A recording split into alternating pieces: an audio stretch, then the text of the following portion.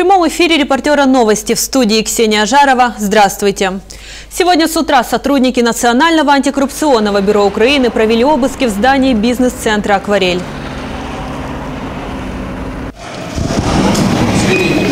Вам касается, тут проходять слідственні дійства. Коментарів не даємо. Покиньте, будь ласка, приміщення. Будь ласка, чекайте.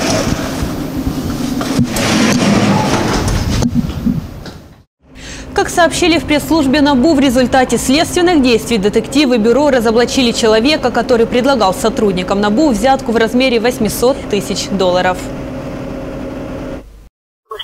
Слідчі е, відбулася в рамках кримінального провадження, про яке ми сьогодні повідомляли. В рамках цього кримінального провадження е, детективи НАБУ е, спільно з працівниками Генеральної прокуратури викрили особу, яка пропонувала співробітникам НАБУ неправомірну вигоду в розмірі 800 тисяч доларів США. Сегодня на своей страничке Facebook генпрокурор Украины Юрий Луценко сообщил, что одесский бизнесмен Альперин предлагал взятку сотруднику НАБУ в размере именно 800 тысяч долларов за снятие ареста на счета подконтрольных ему предприятий.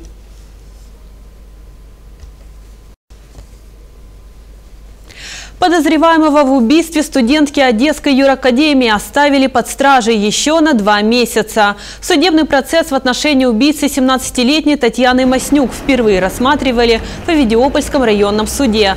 Труп первокурсницы был обнаружен 20 мая в Авидиопольском районе. В убийстве подозревается таксист, который признался в том, что изнасиловал девушку, после чего задушил ее и сжег труп. Позже подозреваемый признался в совершении еще одного убийства в 2014 году. Следующее заседание назначили на 12 января. По словам прокурора, процесс могут вернуть в Киевский районный суд, учитывая, что большинство свидетелей являются жителями Одессы. На данный момент продлили срок содержания под стражей на два месяца. На следующее заседание будут вызваны потерпевшие в данном криминальном проваджении. Будем рассматривать э, по сути уже. Следующее заседание, одну секундочку, назначили на январь месяц, на 12.01 на 14 часов.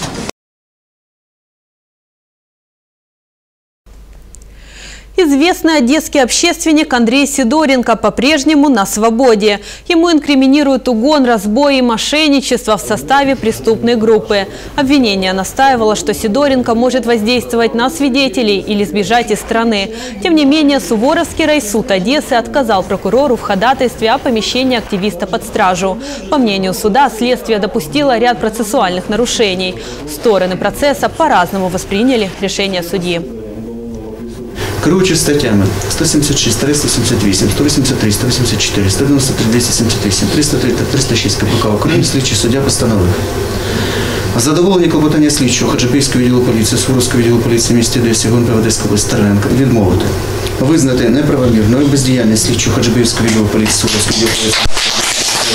Ми будемо в апеляційному порядку вимагати, у нас є таке право, вимагати задовільнити наше клопотання е, та взяти під варту е, підозрюваного у цьому кримінальному провадженні, оскільки ризики, на які ми посилалися раніше, вони продовжують існувати і е, є необхідність у таких наших діях. Состязательность сторон показала, что наша правовая позиция гораздо сильнее э, и убедительнее оказалась для следственного судьи Дергачева, чем э, представленное обвинение. Естественно, обвинение недовольно, потому что э, та работа, ту цель, которую поставили перед ним, не э, ну, не достигла положительного результата. Я остался на свободе, я смогу и дальше продолжать защищать свои права. Прокурор, поддерживающий обвинение, будет обращаться в апелляцию. Сам Сидоренко утверждает, что его преследуют за общественно-политическую деятельность, а не за криминал. Сегодня экс-лидер Одесского правого сектора Сергей Стерненко явился в Приморский отдел полиции, где ему сообщили о подозрении в организации массовых беспорядков 12 ноября в Горсаду. После этого подозреваемый прибыл в Приморский районный суд, который должен избрать ему меру пресечения. С первых минут Стерненко и его защитник заявили, что настаивают на допросе начальника областной полиции Дмитрия Головина, на показания которых строится обвинение. Пан Головін, якщо він вважає, що я дійсно вчинив такі дії, Оскільки він є особливо відповідальною особою високого рангу, він повинен самостійно з'явитись в суд для дачі показань для того, щоб підтвердити свої слова. Кроме того, Стерненко потребовал предоставить ему переводчика, сославшись на то, что не понимает русского языка, на котором составлена часть материалов производства. Суд нашел специалиста, заседание должно возобновиться в эти минуты. Чем оно закончится, мы уже расскажем в итоговом выпуске новостей в субботу в 6 вечера. Пайщики недостроя «Набережный квартал» вновь вышли под прокуратуру. С момента последнего митинга прошло почти полгода, а ВОЗ и ныне там. Собственники строящегося жилья заявляют, что заказчик по-прежнему требует с них дополнительные деньги за завершение работ, но платить повторно они не намерены. Заказчик вот сейчас э, э, хочет возобновить строительство за наши деньги. То есть мы второй раз должны сброситься на строительство дома. Э, он говорит, что он точно такой же пайщик, и он точно так же обманут, как и мы. Хотя он является заказчиком строительства и владельцем земельного участка. Мы уже здесь уже разбастовали, здесь были уже мы. Пообещали разобраться. Но никто этим не занимается, вообще спустили на тормоза и все. Никто этим, как будто нас и нет. В прокуратуре отчитались перед людьми за проведенные следственные действия. Строительство остановлено более чем год назад.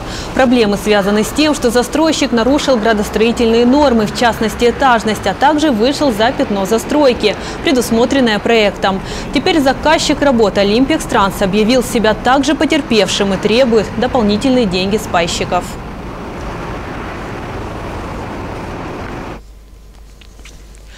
Полиция арестовала троих иностранцев, которые похитили 17-летнего парня и пытались получить от его родителей выкуп. Злоумышленники схватили жертву прямо на улице. Неизвестные лица, нанося удары, э, затолкали парня в автомобиль и, находясь в автомобиле, применяя физическое насилие, завладели его имуществом. Далее похитители привезли юношу на квартиру, где осуществили телефонный звонок отцу потерпевшему с требованием заплатить выкуп за своего сына. Испугавшись за жизнь своего сына, отец передал преступникам определенную сумму, после чего юношу отпустили. По горячим следам преступную группировку арестовали. Ее членами оказались иностранные студенты, обучающиеся в Одессе.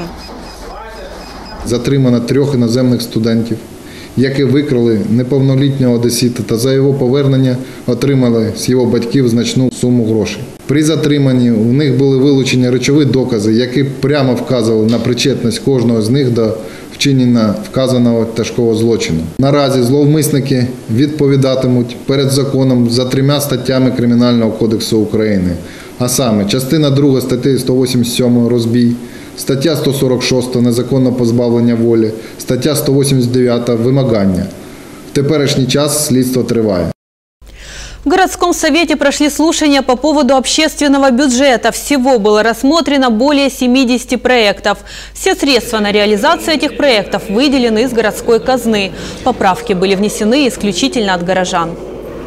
Большая часть проектов отправлена на доработку в профильные департаменты, потому что мы считаем, что та инициатива, которая исходит из, от людей, мы не можем просто по формальным каким-то признакам, от, от, э, скажем так, не проголосовывать те или иные заявки и пытаемся каждый проект, чтобы вышел на голосование. То есть максимальное количество идей одесситов по улучшению своего города, чтобы они выходили на платформу, которая э, действительно в перспективе может получить в случае поддержки большого количества одесситов может получить финансирование из бюджета города Одессы.